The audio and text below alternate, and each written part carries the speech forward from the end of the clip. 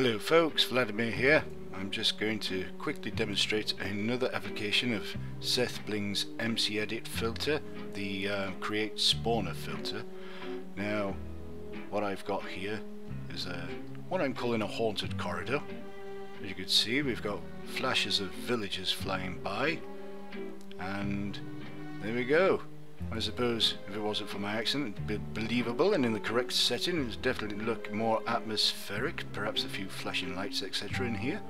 But it's just a quick demonstration, and if I break through this wall here and show you, look, we have all these villager spawners here, and what's happening is, they're spawning, and due to their set spawn position data, they're actually spawning over there you can see them teleporting over there.